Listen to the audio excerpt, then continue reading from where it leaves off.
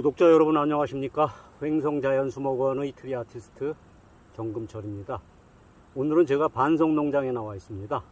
아, 반송 전정 작업을 하고 있는데요. 아, 지금 뒷면에 보이시는 반송의 품종은 그 용송입니다. 일명 그 화송이라고도 하죠. 그래서 이 화송을 개작을 하고 있습니다. 어, 가부리로 개작을 하고 있는데요. 어, 지금부터 제가 어, 실제를 보여드리면서 설명을 드려보도록 하겠습니다.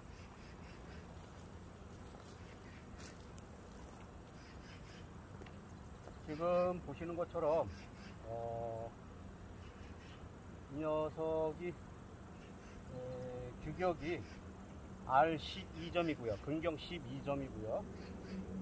어, 지금 보는 것처럼 그 막대자를 수직으로 봤을 때막 대자를 수직으로 봤을 때 약간 경사가 사각이 약간 70도 70도 70도 정도 나오죠. 그래서 얘를 좀 내려서 어, 레바 블럭을 이용해서 내릴 겁니다. 그래서 레바 블럭을 걸어 놨는데요. 지금 레바 블럭의 그 당길 수 있는 거리가 길이가 1m입니다. 1m 1m를 가지고 얘를 이쪽으로 당길 거죠. 당겨서 어, 얘를 밑으로 내려서 물론 부목은 됐습니다. 부목은 대놓고 어, 지금 사간형이긴 한데 근부에서 지상 70에서 80이군요. 80. 80에서 첫 그 축지를 받았어요.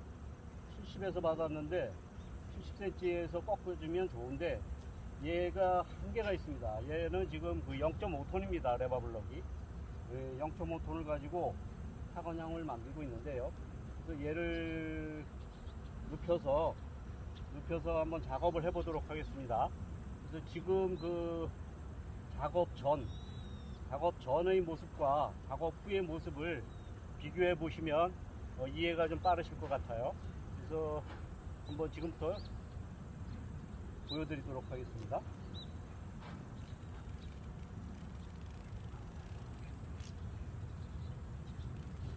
힘을 받기 시작했는데요. 어, 지금 내려가는 게 보이시죠?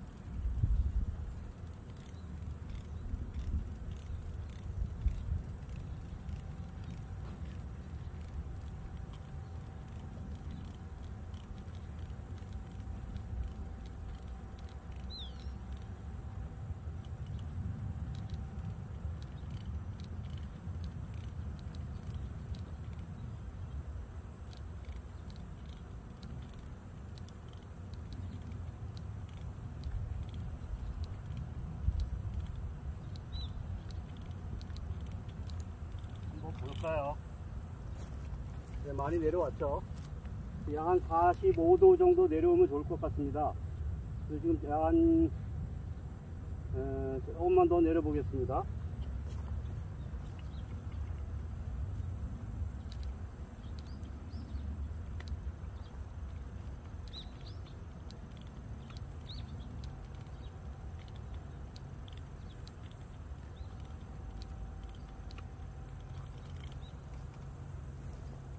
네, 이 정도면 딱 좋을 것 같아요.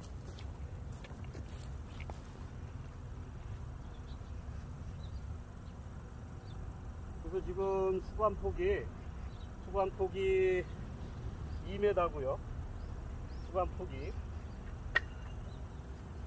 지금 수관 폭이 2m 나오고요. 수관, 길이가 1800 정도, 어, 2m 정도 나오네요.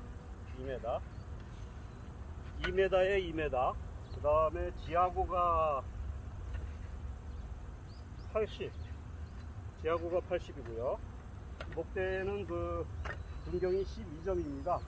지금 이 부목을 제끼에도 불구하고 지금 여기 꼬리 부분이 조금 갈라지네요.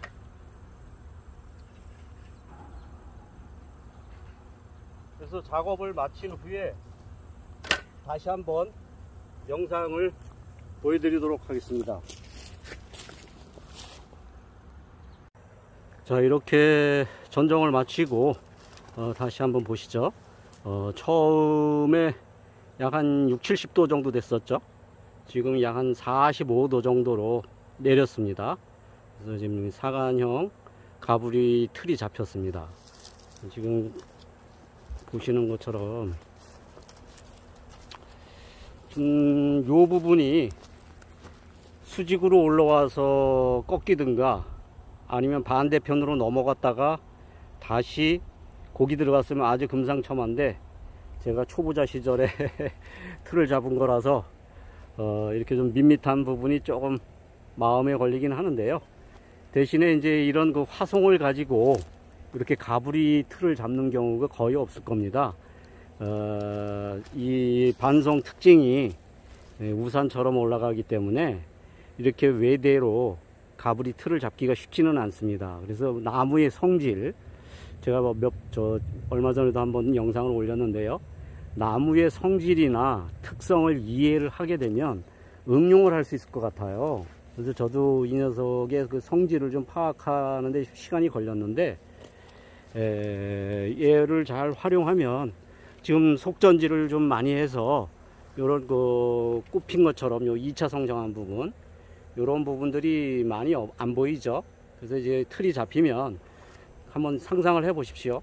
어, 밥이 꽉 찬 상태에서 이렇게 몽글몽글 어, 꼽힌 것처럼 요런 2차 성장한 부분이 쫙 덮으면 참 멋있을 것 같죠?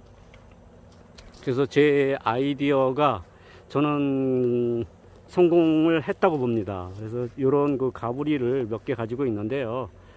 어, 지금 점수가 12점이라 여기 한 20점 정도만 되면 굉장히 웅장할 겁니다. 그래서 지금 일자로 잘 빠져나왔죠. 나란히. 자, 이렇게 한번 그 아이디어들을 내셔서 도전해 보시면 좋을 것 같습니다. 자, 오늘은 어, 여기서 마치도록 하겠습니다. 오늘도 즐겁고 유쾌한 하루 되십시오. 이상은 횡성 자연수목원의 트리 아티스트 정금철이었습니다. 감사합니다.